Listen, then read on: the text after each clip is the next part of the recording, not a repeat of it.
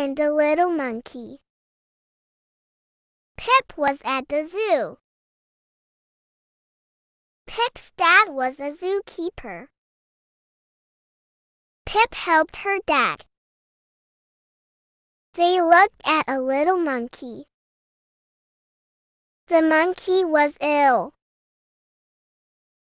They took the monkey home.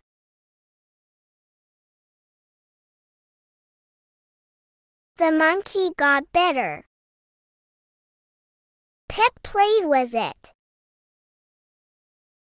They took the monkey to the zoo.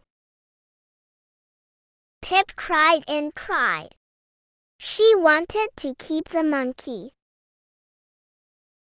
They went to the monkey house. The little monkey ran to its mom. The little monkey jumped and jumped. It was happy.